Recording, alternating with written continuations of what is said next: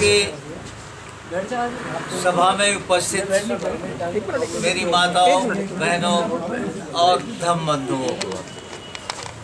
आज का दिन बहुत ही ऐतिहासिक दिन है हमारे लिए। जब 3 जनवरी 1831 को सावित्री बाई का जन्म हुआ था और 10 मार्च अठारह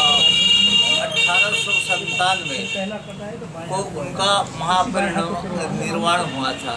कितने साल हो गए? अठारह सौ इकतीस और 10 मार्च हाँ। हाँ।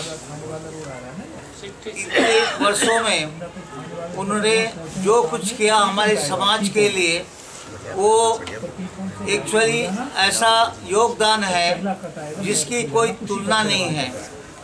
आप सब लोग जानते हो कि एक तो नौ साल की उम्र में उसकी शादी हुई थी और तेरह साल के थे ज्योतिराव फूले।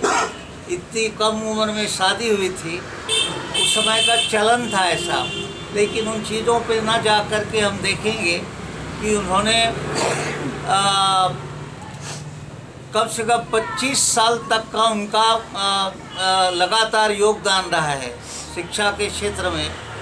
और उन्होंने उसको महात्मा ज्योतिराव फुले ने ट्रेन किया।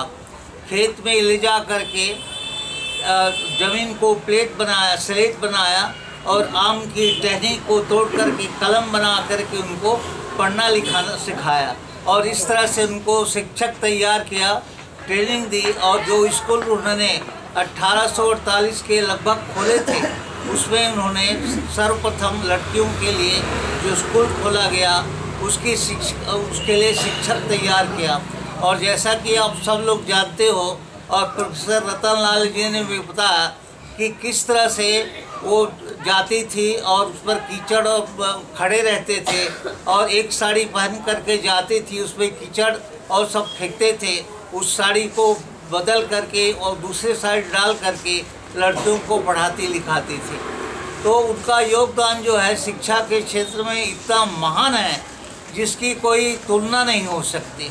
उनका जो त्याग है, बलिदान है और इस तरह से उन्होंने इतने लड़कियों के लिए जो शिक्षा के दरवाजे खोले, नहीं तो आज शिक्षा के क्षेत्र में हमारी बहन बेटी तो क्या सवर्णों की बहन बेटी भी पढ़ लिख नहीं सकती थी। इतना योगदान उसका शिक्षा के क्षेत्र में रहा है। इसलिए हमें जैसा कि प्रोफेसर रतन लाल ने कहा कि शिक्षा के क्षेत्र में जैसा भी हो, योगदान करके हमें अपना स्कूल ज़रूर खोलना चाहिए। और तभी जा कर के हम अपने बाबा साहब, महात्मा ज्योतिबा फुले और अन्य महापुरुषों के दर्शन के रूप अपने बच्चों को शिक्षा हम दे सकते हैं। इसलिए आज के दिन पर मैं इतना ही कहना चाहूँगा कि जो गुलामी की जंजीरें हैं, उसको लोग जो है तोड़ना पसंद नहीं करते क्योंकि वो उसको आभूषण समझ करके लोग पहन लेते हैं। इसलिए हफीज जालंधरी ने कहा है कि जहाद ज़िंदगी में जल्लाद के डर से, जहाद ज़िंदगी में जल्लाद के डर से गुलाम अपनी गर्दन काटते हैं, अपने ही खंजर से। गुलाम अपनी गर्दन काटते हैं, अपने ही खंजर से। गुलामी अपने हाथों अपनी जंजीर बनाती गुलामी अपने हाथों अपनी जंजीर बनाती है और पहन कर ये जेवर नाचती है और गाती है। ये गुलामी में जीने वाले लोगों की हालत होती है। ऐसे हालत से निकाल करके राष्ट्र माता सावित्री बाई फुले ने एक ऐसी मिसाल जलाई जिसकी रोशनी में से जो है, हमारी माताएँ, बहनें आज पढ़ लिख करके बड़े बड़े ऑफिसर पायलट और सब कुछ प्रधानमंत्री तक बन गई। इसलिए उनका महान योगदान को याद करते हुए आज के इस दिन पर हम भाव भावभीनी अपनी श्रद्धांजलि अर्पित करते हैं।